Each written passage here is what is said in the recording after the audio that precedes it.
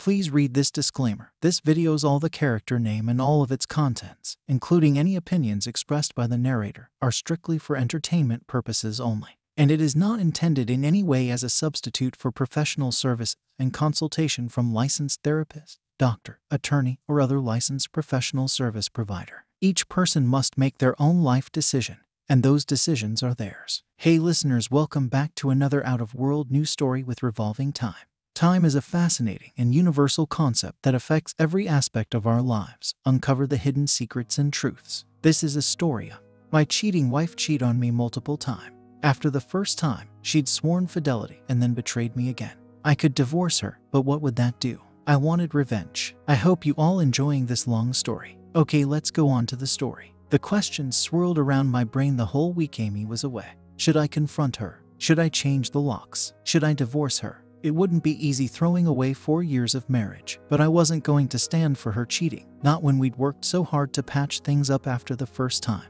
Not after she'd sworn up and down that it would never happen again. This hurt. Her first affair had thrown off our schedule for starting a family, as we devoted months to building trust. The funny thing was that Amy had come to me and told me she'd cheated. I didn't suspect a thing and probably would never have guessed. That she told me helped us get through, though it hurt like hell at the time. I remember the moment clearly. We were in the car on the way back from her mom's. Amy had been quiet at dinner, more quiet than usual, but her mom was so talkative that no awkward silences or breaks warned me something was up. Honey, you know I love you, don't you? Yeah, I do. You feeling insecure? No, I have to tell you something bad. I could see her struggling. I had an affair. It's over. It didn't last long. I'm sorry. I'm so sorry. I wish I could take it back. My first reaction with whom? Why? Where? I'm glad I did because she was vulnerable at that moment, so she let out a flood of information. Her friend Jesse's fiance had been playing on her. She agreed to meet him for a drink, only to get evidence to expose him to Jesse, so she said and at least partly believed. She said she discouraged him and tried to convince him that Jesse was all he should want. A couple of weeks later, when I was traveling on business, she went to a party at Jesse's, got a little lit, and they hooked up for a quickie in Jesse's in his bed. She saw him twice more, both times at their place, before her guilt overtook her. She swore she ended it. Two months later, we went to their wedding. A month after that, they moved to Chicago. I can understand how it happened. A handsome guy play on you. A guy you already know wants you. Your husband is working long hours, traveling too much. You drink some alcohol and you're on your back. I had trouble with the repeat performances. I had more trouble with him being Jesse's fiance. It may be common that people betray their best friends, but to me that indicated a real weakness of character. How could she walk down the aisle in a bridesmaid's dress to celebrate her friend's wedding when she'd been sleeping with the groom? Things got worse between us over the next few days. I didn't want to be home. I didn't want to touch her. When I tried, I found myself thinking about how we'd been slept together while she was ducking her friend's future husband how she'd kept that secret from me, how I'd been gullible, how I'd been the fool. I cringed at the memory of my congratulating him at the wedding, at the commentary I'd given him about what marriage is really like. After two weeks of barely speaking, Amy asked if I'd go to counseling with her. She told me she was afraid, afraid that I'd leave her, afraid that she'd blown it, afraid that she'd hurt me so badly I could never forgive her. The sessions were painful, but after several months, I was able to put the mess far enough behind me that our relationship was growing again. A lot came out. She mistrusted our marriage because I traveled. I was too passive in the relationship. I preferred not to discuss what was happening between us, and my silences contributed to her feelings of inadequacy. It's funny how what someone else does becomes your fault. I interpreted the counseling process as the spreading of blame until it rested evenly on both our shoulders. The balance tipped back and forth for a few months as anger and denial worked themselves out. Then we apply happy medium and started once again to be happy. The part of therapy that stuck with me was the commitments we made to honesty, to trust, and to earning trust, to fidelity, and to communication. I really tried. I scheduled some of my trips so she could meet me late in the week. We started working out together just to share the extra time. If I had to work long hours, we'd meet for dinner. Now all that was gone. I'd stumbled on her cheating completely by accident. I had to send a file, but my mail account was down. It was 3 a.m. and Amy was asleep. I realized I could copy the file to her laptop, connect to her work network, and mail the file through her work email. I did that. The preview pane of her email was open. I just happened to glance at it as I was moving the mouse. The words, You are so unbelievably sexy, the sender was one of the other associates in the firm, so my first guess, though my heart was pounding, was a flirtation or maybe a teasing game. The rest of the email said very little, but it was suggestive of a deeper relationship. Okay, I said. This could be friendship. It could be. Don't lose your cool. I searched for the guy's name in her account. Oh shit. She'd saved dozens of emails from this guy and had sent him dozens more. I picked one at random from him. Yesterday was the absolute most amazing time of my life. You are a goddess. This was not good. I picked another, this time from her. It set up a date and said Jack will be out of town. I have to be home by 10 for his call. Another from him, you are a bad girl. And I love it. God damn it all. My blood started to boil. The idea I should kick her right now came into my mind. I sat at the keyboard wondering if I should read all the emails. I need some time to think about this. My first thought was to forward all his emails to my account, but that would leave tracks. Instead, I laboriously copied each email onto my key drive. I tried to go to sleep but couldn't get in bed with Amy. I tried to lie down on the couch, but that felt worse, like I was being evicted by my loving, unfaithful wife from my rightful bed. I ended up slumped over the kitchen table, flipping the pages of magazines until dawn. Then I hopped into the shower, roused Amy, told her I'd had a problem with my document which could only be fixed at the office, and left. Sitting at my desk, hours before anyone else arrived, I printed out all the emails between my wife and this guy Rob.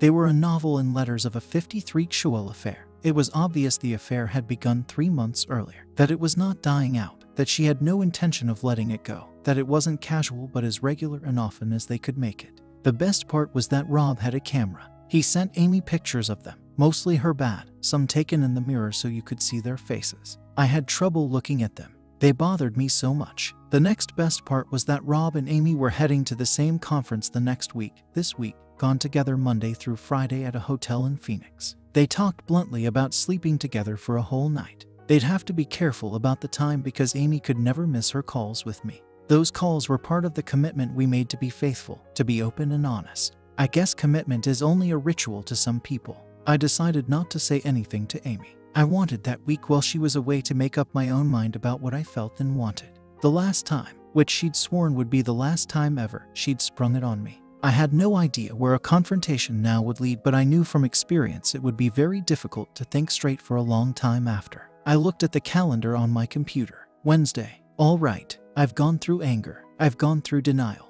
Time to pick a pony. What the hell do you want? The answer welled up from the deepest recesses of my mind revenge. I wanted revenge. She'd lied to me. She'd sworn fidelity and then betrayed me. I had trusted her. I had invested two more years of my life in her only because I believed what she had said in counseling. Two years I would never get back. I could divorce her, but what would that do? For all I knew, she was only staying with me out of guilt or a strange sense of loyalty. Maybe she couldn't leave me because she'd committed to stay with me. If we divorced, she'd get half of not very much. She'd still be a lawyer, still be an attractive choice for another man. I wanted to ruin her, to crush her hopes and dreams. I thought about hiring someone to kick her, I considered a range of violent options, but each ended with me as a monster facing a minimum of 35 years to life without parole. So I try find other way. My nightly check-in call went smoothly. I was becoming a good actor, pretending to be happy I'll be a great actor. I'll set her up and then destroy her. Now the trick would be to come up with the right plan, something genuinely clever. They say that God is in the details. Well then, so is the devil.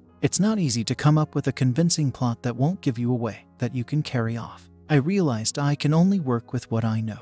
I know computers. The temptation is to do something completely out of my realm in the hope that distance will cast less suspicion on me. Through a roundabout, very hard to trace method, I set up a web account which drew on servers located in other country. I set up a website, nothing creative. It took a couple of weeks to get the account and work out the rest. During this time, I worked on my acting skills. Honey, I sighed. Your being away made me think about our relationship.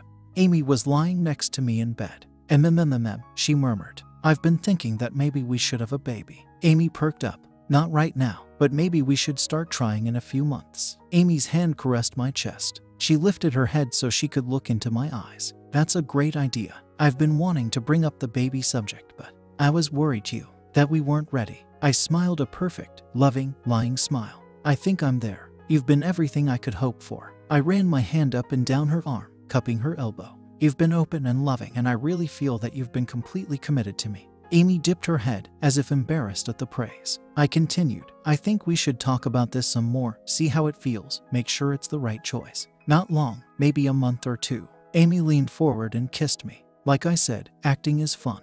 We talked it about having a baby. I wanted her to make the right decision, which meant understanding the effect it would have on her career, on our relationship, on our ability to take vacations. Update Once my website was ready, it was decision time to go through with my plan or not. I decided to check her email again to see if she and Rob were still at it or if things had cooled with the baby talk. I waited until Amy was asleep. I roused her laptop, logged into her work network, and checked her inbox. Nothing unusual, nothing from Rob. I ran a search, and lo and behold, there my wife was, right there in her own words. Baby, you know I are probably going to get pregnant soon. Get the baby now. After I go off the pill, we'll have to cool it when I'm ovulating. Don't worry, baby, I'll be using a basal thermometer to tell me when the little egg drops, so we won't suffer too much. Rob wrote back, We can test condoms. Operation Revenge went in motion. Amy and I had a romantic Friday night dinner at her favorite restaurant. As we waited for coffee, I held her hand and lovingly said, I think we should go for it. I nodded meaningfully. Amy's face lit up. She gulped. She reached toward me with her free hand. I so much want a baby. Thank you. I love you. I love you too, sweetheart. We agreed that she'd go off the pill when her next cycle came around. She could be fertile within a month. Little did she know that Monday morning she'd be visited by some very bad guys or hackers trying to look hard. My site had a nice front page showing Amy playing with something. Her face blurred. Real wife having on real playing. I tried a dozen different typos, but that one felt right. It was a title I could write in. Real wife having good playing with lover, not her own man. Cheating wife must pay. My favorite line. More than a little ridiculous, isn't it? My first concern was getting the message to Amy. I spoofed an email address from a business contact. To get it in front of Amy's eyes, the subject line read I know about you and Rob. I sent the message through a server that provides anonymity, worried about the FBI might be able to trace it back to me. On Saturday, I looked forward to the ending of a weekend. I was glad not to be home. The time waiting helped me prepare for what I hoped would be a terrific performance. My plan was if she was in tears, begging for forgiveness. Well, I decided not to play out the alternatives. Her car is in the garage. The lights are on. Let's see which Amy is home. Hey, honey, I yelled. No answer. Amy was in the kitchen an open bottle of wine next to her on the kitchen. I saw it was already half empty. Bingo, starting early. I asked. Amy shook her head. I had a very bad day. I assumed the supportive husband role. Aw, baby, that's too bad. I put my arms around her. Turn around and I'll rub your neck. I massaged her shoulders. My intention was to get laid while she was a wreck. Amy tried to pull away. I wasn't letting her off that easy. Come on, babe. It'll take your mind off things. I pulled her to me again. I kissed her neck. Besides, thinking about having a baby with you. Dot dot dot. Amy looked like she'd been hit by thunder. Amy didn't seem aware of what was happening. Yeah, baby, let's take your mind off your troubles. Hungry? I asked. As I ate a cheese sandwich, I thought that, yes, it was possible my message had not been received, that Amy had merely had a bad day at work. The only way to know would be to unleash part two of Operation Revenge. I went to bed, to sleep next to my cheating wife. Tuesday's email contained more explicit instructions. My email and her parents' email were included. I don't want to think I was growing overconfident. I wanted Amy to think she might get off easy. I wanted to drag out her pain. That is the point of revenge, to inflict as much hurt as possible. Her heart pounding when she opened the email. Do I tell Jack? Do I pay? If I pay, they'll only want more, but if I don't pay, maybe, maybe, what should I do? I checked the website several times during the day and discovered that she paid the $500 for remove her photos. At 3:10 in the afternoon, I imagined her tumbling over the possibilities for most of the day, agonizing over what to do. Amazing, just amazing, I thought. This is actually working. Perhaps the most gratifying part of executing a plan is seeing what you imagine actually taking shape. While revenge is the goal, planning and execution have lives of their own. Tuesday night was not a repeat of Monday. When Amy got home, I wanted to see her mood. I greeted her at the door and, for my trouble, received a huge hug and a smoldering kiss. Her happiness was palpable, though a little forced. After all, she'd paid but didn't know if her blackmailers would keep their word. Amy is a wonderful courtesan. She's intelligent, makes good conversation, and has interesting opinions. We made dinner together, flirting, taking food from each other, playing like lovers. She thanked me for taking her out of her bad mood, and so vividly. Ah, this is the life. Later, we lay together in bed talking about getting pregnant.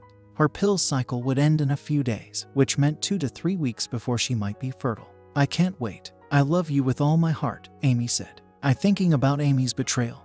And the context that we'd been through this before, that we were thinking of having a baby. Did I really need revenge? I thought about this on my daily run. Anger, hurt. Should I turn the other cheek after making her suffer? Wouldn't the more manly choice be to divorce her and walk away? The answer shocked me as it welled out of the depths of my soul. I wanted to inflict pain. I wanted to humiliate her. I had no desire to change her into a genuinely faithful wife and mother. I wanted to wreck her life in a way that would stick with her until her dying day. And I wanted her never to know it was me, so she'd always feel completely that I'd been the innocent victim, that she'd lost me and the family we'd been planning. So what am I? I asked myself. I'm a man. I shook myself hard. I'm a man. I said aloud. I want revenge. I want to hurt somebody. I want to get in a fight and leave some bass. Moaning in pain, I yanked the car door shut and started the engine. Amy was going down. Wednesday, Thursday, nothing. I set it up for Friday. A horrible email. We'd have two whole weekend days to enjoy the mess. $10,000. 500 she could hide. Spread out over time, she could hide a lot. But 10,000 in one fell swoop. Uh, due by noon her time on Monday. Or else, I wanted to force Amy to tell me, Oh Jack, I'm such an ungrateful soul who doesn't deserve you. I've lied and cheated. I'm a worthless. True, but I didn't expect quite that conversation. A brave man dies once, but a coward dies a thousand deaths. Amy called me at 11 in the morning. I knew when her office number flashed on my caller ID. Putting aside the compulsion to let her go into voicemail, I answered, Hey babe. What's up? I need to see you right away. She sounded serious. I was instantly alarmed. Are you all right? Are you okay? Please, she paused. I thought I heard her sob. Please, meet me at home as soon as you can. Rather than rush home, I drove around for an extra 10 minutes, listening to loud music. She was waiting at the door. She looked bad. I was concerned. What's wrong? I tried to put my arms around her, but she held me off. She was crying. Her hands were shaking. I grew calm. Here was my wife, my beloved, about to confess to cheating, to having pictures taken of her ducking another man, to being blackmailed, and I was furious but calm. I could see my hands around her neck, screaming, Give me back those two years. Give me back my life, you cheating dot dot dot. Instead, I grabbed her trembling hands and reassured her, Whatever it is, you know I love you. That nearly kicked her. Then she ran in the direction of the bedroom. I went into the kitchen, refilled the glass. I took the water to the bedroom. Amy was lying face down on the bed, her back heaving. I sat next to her, rested my hand on her back, and offered her the water. She shook her head. I had decided to play strong and silent. Let her carry the dialogue. I raised my hand to acknowledge her feelings. I'm a terrible person. She placed her hand on my arm. I'm strong and silent. I shake my head to indicate no, she's a wonderful person. She obviously needed a prompter to get her off that line. Now, why do you say that? She began. There are pictures of me with someone, someone not you. Pictures, you mean? Amy nodded. You never told me there were pictures. She dropped her head, as in a couple of days ago. I am a good actor. I shook my head, indicating disbelief. Amy, who was it? Who? She only cried harder. I dropped my mask of concern and dispassionately watched her. Thou shalt reap what thou sows. I left the room. I was sitting at the kitchen table, sipping a single malt scotch when Amy came in. She gingerly sat opposite me. You'll never forgive me, she said. I snorted. After you promised. Do you want me to leave? She asked. I almost exploded. No, I want you to tell me why. I want you to tell me why you lied to me. I want you to tell me what I did wrong. You didn't do anything wrong. I'm so ashamed. She put her head in her hands and began to cry again. She told me his name only when I asked specifically for it. He's married. I could see Amy clearly in those minutes, and the understanding swept through me that I knew her motivation for the affair better than she did. She was an actress. She wanted to act, needed to act. Managing an affair while keeping a happy marriage was, to her, an irresistible acting challenge. She was trying to act out a double life as 53x toy and faithful wife, as a great mistress and great wife. She would one day be the perfect mother and Isolde on the side. She was still acting, hoping against hope that she could pull off an Oscar winning performance that would keep me. Had she never played out in her head the consequences of failure? She kept talking, now praising me and bemoaning how she had hurt me. I could see it all. She loved me. She had fallen, like Adam and Eve, into a state of sin. Eve ate the apple, but the knowledge contained in the apple ate Eve. I had no doubt that Amy had fallen step by step into the affair, from friendship and flirtation shaped by his need to run from grief, and her unspoken fears about my willingness to start a family with her, and then to contact, and then to more, and then to more, until Amy was playing the role, acting the part, without ever realizing that the role had eaten her. Final update I saw Amy's frailty and felt a great kinship with her, not as husband and wife, not as lover to lover, but as people trapped in this endless cycle in which we have knowledge but lack wisdom, in which we have urges and the will to resist but not the strength to succeed. Amy had done the best she could to paper over the crime. Why are you telling me this now? I asked. The pictures. I'm. She couldn't go on. I realized she'd started by mentioning the pictures but hadn't explained them. What are these pictures? Pictures of me doing it. I was visibly angry. Pictures of my woman. That would make any man's blood boil. Were you out of your mind? I snapped. What the duck were you thinking? This was the nightmare at the end of her dream rainbow. She told me it was his idea. The pictures turned him on. I already knew that from their emails. My target was elsewhere. Is he threatening you? Is that what this is? I grew indignant. She was trash, but she was still my wife. Is he threatening you with those pictures? Amy shook her head. She had no choice but to speak. I'm being blackmailed. I received an email. It threatened me, told me to go to a website. I did. It had pictures of me with my face. Not clear. Pictures of me. You know, they told me to pay or else they'd tell everyone. They had addresses from my contacts list. His face is in the pictures. His wife will see them. Everyone we work with. She looked at me. He almost had a heart attack when I told him. He kept saying his wife would divorce him, that he'd lose everything. I snorted. You mean they were digital? I was incredulous. Amy waved her hand yes. You stupid. I trailed off. Don't you know? Obviously, you don't know, I said with special emphasis, that digital files can be searched. Your mail is on your servers. A good hacker who gets into your network can search for image files. Silence. I waited, pondering the problem. If it wasn't your boyfriend, I spit on that last word. Anyone could have picked up a password or cracked one. Maybe somebody left their laptop on. Or maybe somebody wrote down the password and lost the paper. If it was a hacker, they could have searched for image files and then narrowed in on your account. They didn't threaten him, did they? No, who knows? He sent the pictures to you, right? So they were also attached to his emails and they could have cracked his account. What am I going to do? Amy half asked, half pleaded. You haven't told me what's going on. They wanted $500 and said if I paid, they'd take my pictures off their website. $500. You've got to be kidding. What is this website? I showed exasperation. Let me see. Maybe I can figure out what's happening. She told me the site's name and I went to my computer and tried that name. I also Googled it. Nothing. There's no site by that name, I yelled to her. Did they give you a URL or was there a link to click on? I asked. A link, probably some made up name. Can you get the email? Amy got her laptop from her briefcase, put it on her desk, and logged into her work email account.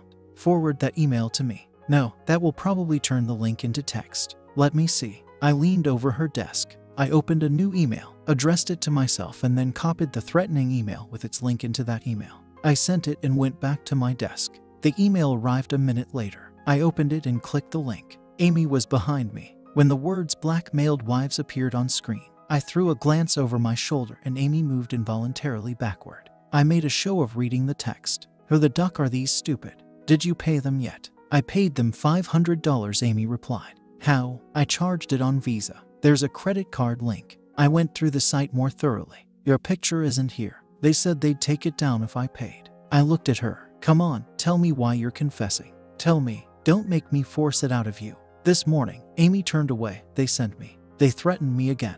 If I don't pay them $10,000 by Monday, they'll send the pictures to everyone. My God, is that true? Amy nodded. She suddenly broke down. I've ruined everything. I can't believe this is happening. She plopped down on the floor. This isn't how I wanted my life to turn out. You know what I'm going to do. Speaking sweetly. No, I'm going to divorce you. That's what I'm going to do. Amy cried. What do you say? You reap what you sow, baby. All good things come to an end. Are you going to pay? I asked. I don't know what to do. She lifted her head. I've lost you. What should I do? They asked for how much? $10,000. They'll never stop. I know, she said. I wouldn't care if I still had you. Friday afternoon slipped into evening.